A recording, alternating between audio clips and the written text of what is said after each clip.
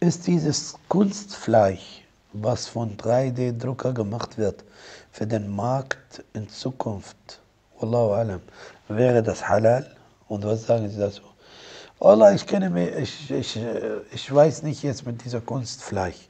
Aber wenn die, äh,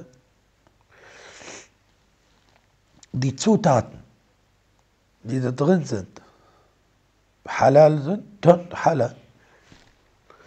Wenn Haram dabei ist, dann Haram. Einfach. Ich bringe jetzt Barakallahu fikum diesen Becher und ich mache aus diesem Becher, ich mache aus diesem Becher Tisch. Ich habe aus Becher Tisch gemacht. Ist dieser Becher halal und ist der Tisch halal? Ja.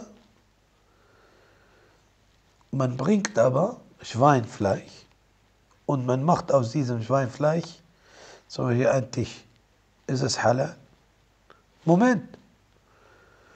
Wenn, wenn das Fleisch von Schwein total umgewandelt wird, chemische Verbindungen haben sich aufgelöst und die sind nicht mehr zu bezeichnen als Schweinfleisch, dann ist es halal.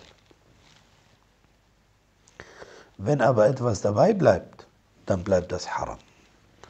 Und das ist auch via dieser äh, 3D-Drucker.